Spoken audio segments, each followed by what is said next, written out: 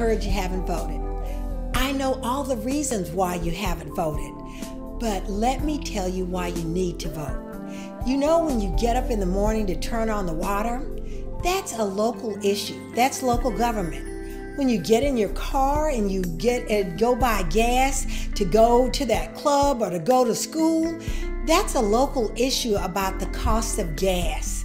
When you get ready to go buy that outfit that you just have to have, that's a local issue. That's your sales tax. So if you want to control the quality of your life, you need to go vote. And there's an opportunity for you to vote on this Saturday, May the 4th. You get to vote for local officials who are going to take care of your issues.